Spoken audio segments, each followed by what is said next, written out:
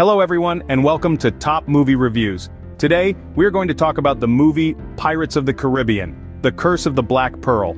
This is the 2003 fantasy adventure film directed by Gore Verbinski, based on the Disney theme park ride of the same name. It stars Johnny Depp as Captain Jack Sparrow, a witty and eccentric pirate who teams up with a young blacksmith named Will Turner, played by Orlando Bloom, to rescue the governor's daughter Elizabeth Swann, played by Keira Knightley from the clutches of the cursed pirate Barbossa, played by Geoffrey Rush.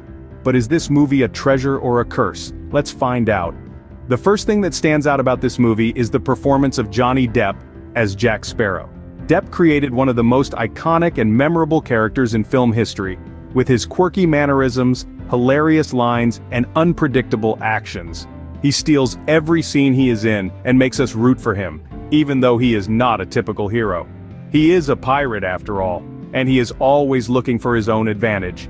But he also has a heart of gold, and a sense of honor that makes him more than just a selfish rogue.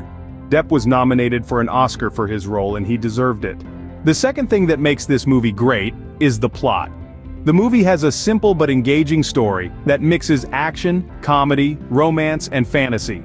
The movie has a lot of twists and turns that keep us guessing and entertained. The movie also has a lot of fun and exciting scenes such as the sword fight between Jack and Will, the escape from the island, the attack on Port Royal, the battle on the Interceptor, and the final showdown on the Black Pearl. The movie also has a lot of humor thanks to the witty dialogue and the comic relief of characters like Pintel, Ragetti, and Cotton. The third thing that makes this movie awesome is the special effects. The movie has some amazing visual effects that bring to life the world of pirates and the supernatural. The movie has some stunning shots of the ships, the sea, and the islands. The movie also has some impressive effects for the cursed pirates who turn into skeletons under the moonlight. The movie also has some great sound effects that enhance the atmosphere and the action. The movie also has a fantastic score by Klaus Badelt that captures the spirit and the adventure of the movie. So what is our verdict?